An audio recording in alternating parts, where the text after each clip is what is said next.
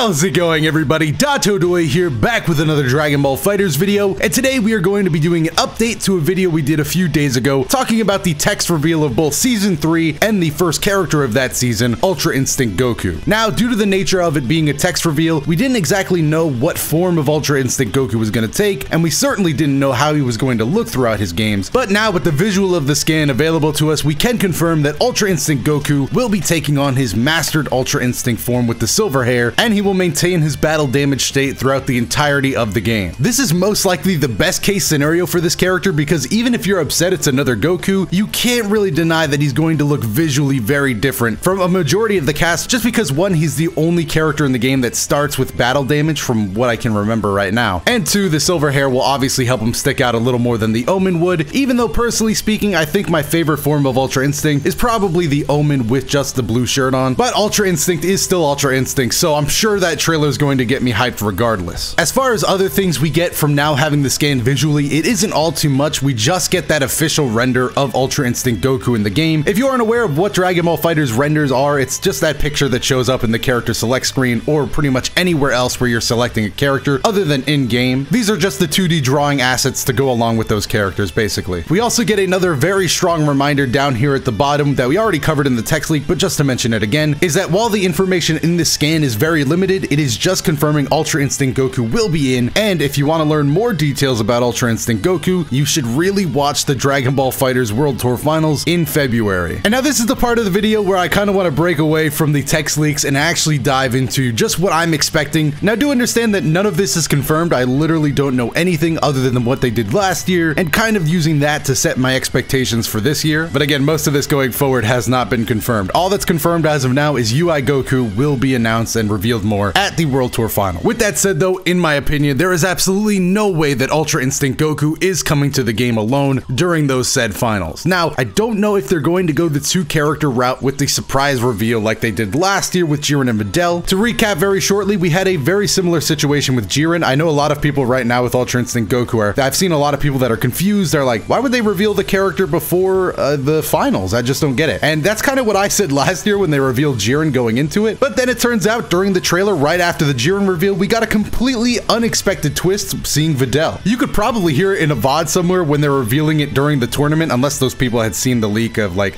that came out 30 minutes uh, previously. But people seeing Jiren were like, hey, he looks cool in game. But then when they saw Videl, they were like, wow, that came out of nowhere. And it's because for the most part, it did. I mentioned that just because I've seen a lot of people that didn't want UI Goku and they're kind of upset that now they know about him and they have to wait and they won't even feel surprised. But I can almost guarantee to those people that there will be a surprise in store for you unless, you know, something botches and there's a leak somewhere. My only question right now is will they go with UI Goku, the TOP stage, and that dramatic finish with him, Frieza, and Jiren, or will they just kind of shortcut the stage like they have done in the past and just go with a second character reveal? Both seem equally likely to me. They have been slowing down on character releases compared to season 1 with season 2 only releasing one at a time, with the exception being Jiren and Videl, and it being a shorter season overall. So less initial characters are definitely in the cards, but even when you consider that, they did announce Gogeta Blue and DBS Broly as well, so who knows, they could do another thing of just announcing a character and then later going on to actually make some assets for that character. If that were to happen, my main guesses for what characters would come over would probably be mostly Tournament of Power related, just something that could roughly equate to the level of hype of UI Goku. Think characters like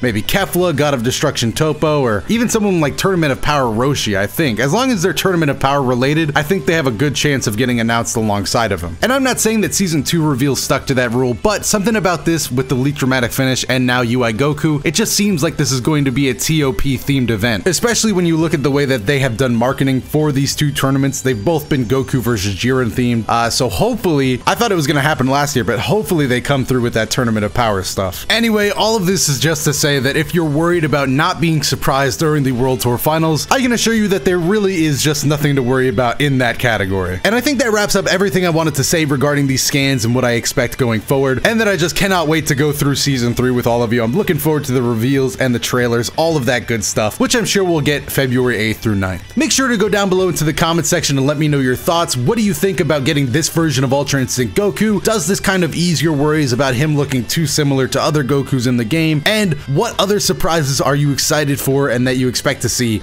at the World Tour Finals? Other than that, while you're down there, if you like these videos and want to stay up to date on everything, make sure to hit the like button and subscribe to the channel as I cover all all of this stuff as soon as I can. You can also check out more Dragon Ball FighterZ videos where I actually play the game up on your screen right now. Other than that, I have been Dotodoya. Thank you so much for watching this video all the way to the end, and I'll see you in the next one.